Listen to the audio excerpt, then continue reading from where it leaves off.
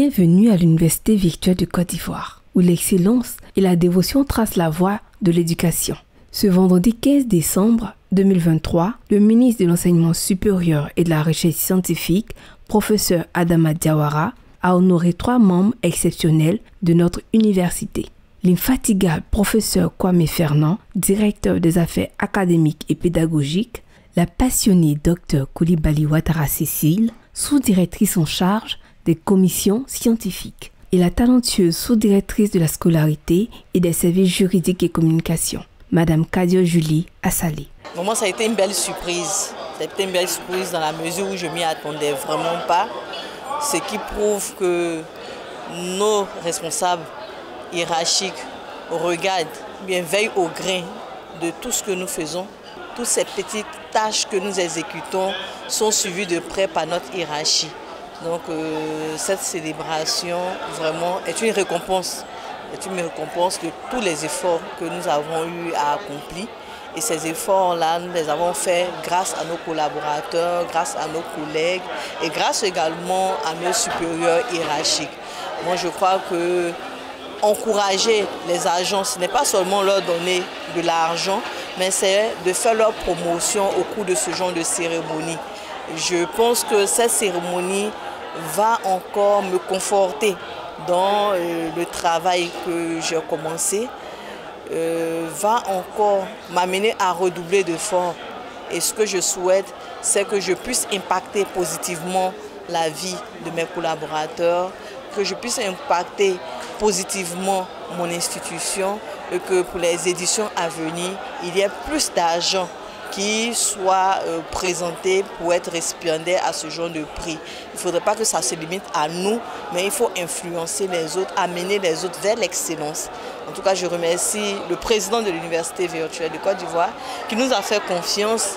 Il n'a pas regardé euh, seulement euh, le travail, il n'a pas regardé aussi le fait que nous soyons jeunes dans les postes que nous occupons, mais il a voulu nous célébrer, nous honorer en nous proposant. Et je dis merci à tout le monde, merci au ministre de l'Enseignement supérieur de la recherche scientifique, merci à tous mes collègues du ministère et également mes collègues de l'université virtuelle. Et à très bientôt pour d'autres récompenses avec beaucoup plus de collègues. Merci. C'est une satisfaction, d'abord pour, pour moi, mais pour toute la famille de l'enseignement supérieur et singulièrement l'UVCI, qui est pour moi le laboratoire où on nous a vu travailler et qui aujourd'hui euh, est célébré. C'est l'université virtuelle tout entière, c'est l'UREN, recherche et d'expertise numérique, c'est l'école doctorale également que j'ai eu la chance de coordonner, d'animer. Ce sont ces efforts que nous avons eu à accomplir qui font qu'aujourd'hui, nous avons été proposés par l'Université virtuelle de Côte d'Ivoire et acceptés pour être décorés. Je voudrais aussi dire euh, toute ma satisfaction et remercier tous mes collaborateurs parce que c'était un travail d'équipe hein, qui aboutit à cette distinction. Je vois que le travail devient encore, euh, j'allais dire, très prenant. Le travail va demander encore beaucoup plus d'efforts pour ne pas que je sois seulement à ce grade, mais que je puisse également être euh, à un autre grade, hein, celui de commandeur dans l'ordre du mérite euh, de l'éducation nationale. Et c'est un travail d'équipe. Je félicite tous les acteurs, tous mes collaborateurs qui ont permis que je puisse être distingué. Donc c'est en leur nom euh, que je suis distingué. À ma famille également, qui a cru en moi, qui me soutient, qui, pour mes nombreuses euh, mes nombreux voyages, mes nombreuses heures d'absence, hein, à accepter et continuer également de me soutenir. À mon épouse, à mes enfants, euh, qui m'ont permis aujourd'hui d'être distingué. Euh, je suis tellement fier que je dédie cela également à ma famille. cela pousse à vraiment continuer davantage dans le domaine qui est le mien, le domaine de la maîtrise de l'information, le domaine de la science ouverte, parce qu'aujourd'hui, euh, avec le numérique, la recherche se fait autrement.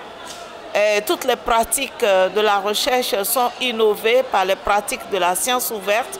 Euh, et j'y suis déjà engagée, soutenue par mon institution.